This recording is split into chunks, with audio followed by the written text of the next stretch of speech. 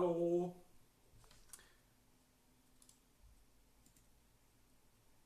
Mal gucken, ob ich mich hier noch selber anzeigen lassen kann.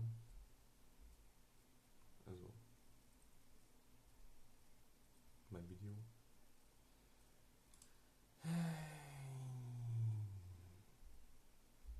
Ist schon jemand da? Hört mich überhaupt jemand? Ist hier, geht hier irgendwas los? Live. Das ist der Hammer. Hört man mich? Ich nuschel ein bisschen, ist ein bisschen leise, ne?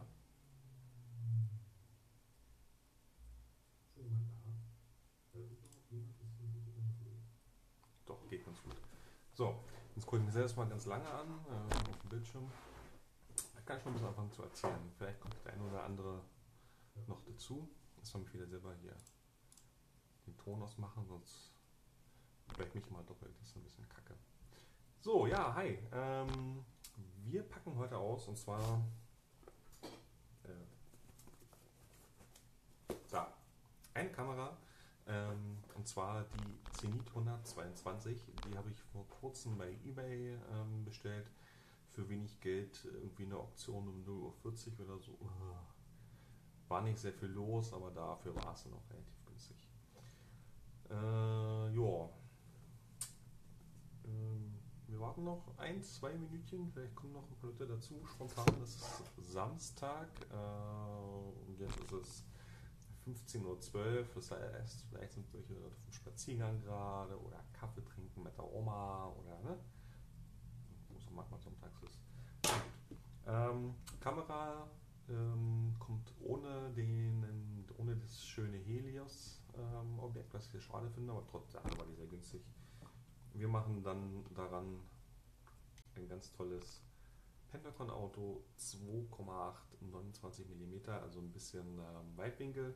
Schon meine ganzen Batteries hier bereitgelegt. Batteries, oh Gott! Äh, Batterien hingelegt, ähm, weil da bestimmt ein paar rein müssen. Oh, ich habe ja dauernd so Abbrüche, natürlich scheiße. Ja.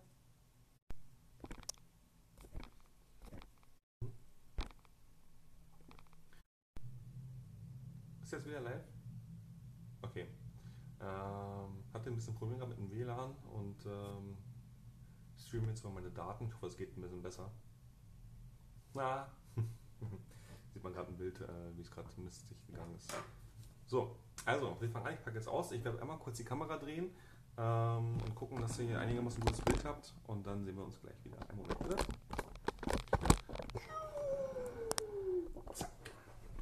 Seht ihr meine Decke. Natürlich toll. Und mich. Hi. So.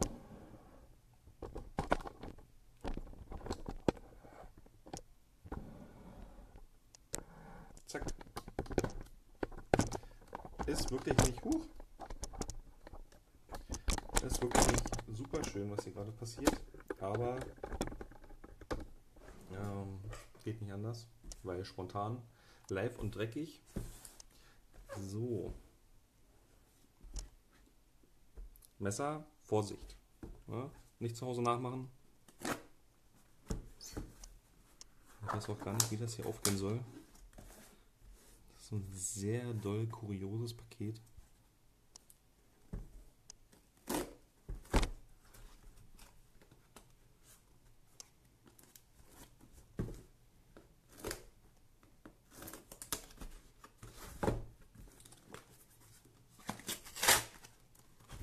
Hilft nur rohe Gewalt.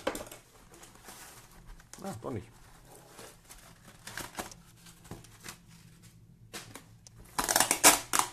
Mhm.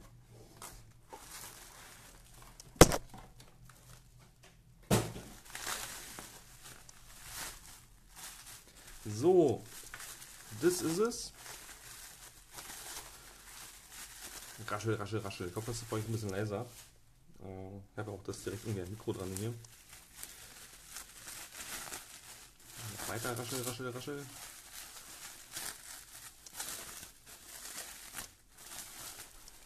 Oh, tada! Zenit 122. Sieht wirklich echt gut aus. Der Zustand scheint wirklich gut erhalten zu sein. Und ich sehe das erste Rädchen hier und habe schon mal keine Ahnung, wofür das da ist. Falls es jemand weiß, kann er das gerne irgendwie kommentieren. Da ist noch das erste macht man automatisch und erstmal zack auslösen. Geht. Gucken wir mal rein.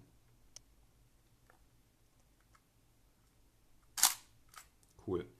Spiegel bewegt sich, hört man auch, finde ich sehr gut. Ähm, mal durchgucken. Und dann gucken wir mal rein. Magic. So, mal gucken. Auch hier immer wichtig, bei neuen Kamera immer erstmal gucken, wird ähm, der Verschlussvorhang mitgezogen. Funktioniert sehr gut. Zack. Ähm, hier kennt man übrigens sehr gut, ähm, was auch wichtig ist, wenn ihr eine Kamera prüft, eine neue. Jetzt mal so. Diese, ja, also dazwischen ist ein Schlitz quasi, das ist die, der Übergang der beiden Verschlussvorhänge. Ähm, da darf auch kein ähm, Spalt zu sehen sein, kein Licht, ähm, weil das sonst direkt auf dem Film belichtet wird, ist natürlich schlecht. Gut, da Made in Russia, das Zeichen von KMZ, dem Hersteller, da findet man auch drauf auf den Objektivdeckeln der äh, Leica-Nachbauten. Hier heißen die? Die FET äh, von den FET-Kameras, ähm, die Objektive von denen haben auch oft ähm, dieses Symbol. So, äh, was haben wir hier? Verschlusszeiten. Ähm, B, also Langzeitbelichtung 30, 60, 120, 250 und 500. Ähm, ja, nicht super viel, aber es reicht aus fürs Gröbste. Ein bisschen Schnappschussfotografie wird damit schon möglich sein. Ähm, für ein paar Touren. Ansonsten ist es natürlich immer schöner, wenn man gerade bei Sonnenlicht noch eine 1000er Verschlusszeit hat. Ähm, aber naja, sei es drum. Wir schrauben mal das Objektiv an, damit es sich besser handeln lässt ein bisschen und auch ein bisschen besser aussieht. Wunderbar.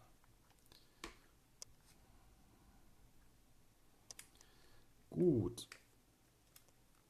Schauen wir mal. Können wir mal aufmachen. Und dann die Verschlusszeiten prüfen. Wir hatten ja gerade, hier sieht man es, eine 60. Sekunde eingestellt. Ähm, haben wir schon gehört, geht.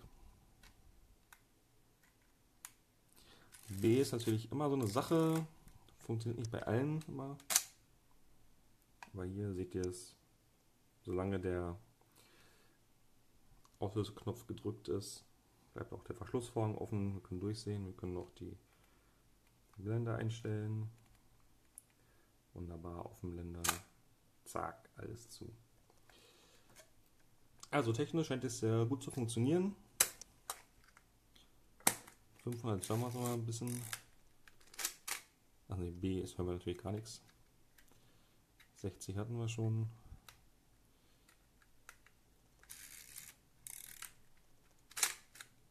Ja, geht einigermaßen schnell.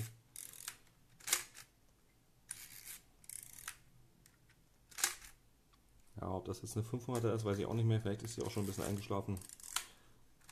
Ah, sieht aber recht schön aus. Wenn wir davon nur noch vergleichen, die langsamste Zeit. Merkt man schon eindeutig einen Unterschied. Ist aber ganz schön, dass es zumindest vom groben Hören äh, wieder gut funktioniert einigermaßen. Ähm, ja. Blitz-Synchro-Anschluss für den Blitz-Schuh. Ähm, also kein Hot-Schuh, sondern ein Cold-Schuh. Ähm, das hier ist, geht ja nicht so gut gerade. Da. Dieser Knopf ist für den Selbstauslöser. Äh, und das hier an der Seite, ja. Ich werde mal ganz kurz, also das hier, da seht ihr es. Ich habe hier nebenbei schlauerweise die Anleitung auf die man bei Butkus findet. Thema Butkus übrigens, wenn ihr da mal ab und zu seid und äh, was runterladet, spendet ruhig mal den einen oder anderen Euro. Das ist bestimmt sehr hilfreich. Ich habe es selber auch schon gemacht. Hier eins, da steht's. Aha, Self-Timer Cocking Handwheel. Okay, also das ist der Aufzug für den Selbstauslöser. Mit diesem, da, mit diesem Rad könnt ihr den Selbstauslöser spannen. Äh, ja, doch, spannen ist richtig. Jo, gut. Ähm, hier sehen wir äh, lange Denkpause. Den Verschluss für die Batterien. Ich habe hier noch mal so ein, was ist das, 2 D-Mark-Stück rumliegen, weil das damit immer noch am besten geht. Gehen noch, äh, geht auch hier diese 29 Cent Stücke vom Euro oder so. Ähm, Gerade hier diese ganzen Praktika-Modelle und wie sie alle heißen, da wurden auch die ganzen Schlitze für die 10 Pfennigstücke oder 20 Pfennigstücke designt. Geht aber Gott sei Dank heute auch noch. Kann man raus oder? Passiert ja nicht.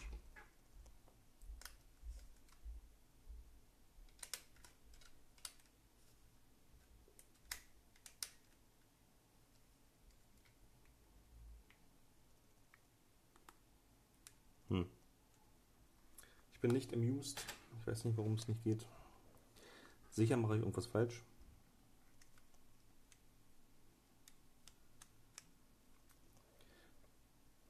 Noch ganz kurz hier das ISO-Rad zeigen. Hallo Kamera, bitte scharf, schön. Rost, keine Ahnung, bestimmt ASA oder sowas in die Richtung. Oder DIN. Ähm, von was ist das, zwischen 10 in den Zwischenschritten bis 800, denke ich mal, ähm, ISO einstellbar. Ist auch relativ wichtig, weil wenn man durchguckt, äh, man sieht, dass es da auch ähm, Internetbelichtungsmessungen gibt. Also schon ein relativ fortschrittliches Ding. Hallo, Kamera, Schärfe. Kamera. Aha. Nein. Oh Gott. Handybilder sind echt Handykameras der Hass. So. Okay, mal kurzer Überblick. Einmal zeigen alles und dann sind wir auch schon gleich fertig. Zack, zack, zack.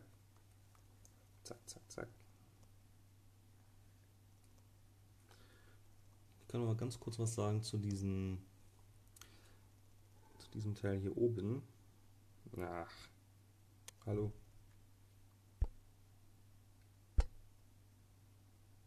Geil, dass ich das auch nicht selber scharf stellen lässt. Aha.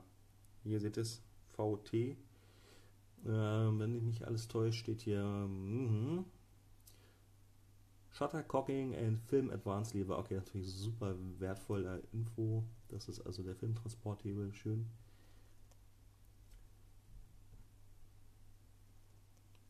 Tja, was V und T ist, weiß ich auf Anhieb auch nicht. Sorry, müsst ihr selber rausfinden. Ja, das war's schon. Ähm, und wenn ihr noch mehr darüber wissen oder lesen wollt, werde ich ganz sicher bald die ersten Fotos ähm, und ähm, ja, Fotos hochladen von den Ergebnissen und bestimmt noch mal einen kleinen Bericht schreiben über die Kamera an sich auch. Und freue mich auf euren Besuch und bis zum nächsten Mal. Ciao!